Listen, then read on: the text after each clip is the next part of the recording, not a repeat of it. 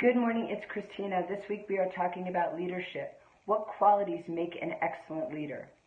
One thing I know for sure, a good leader earns trust. Stay with me this week as we continue to talk about leadership.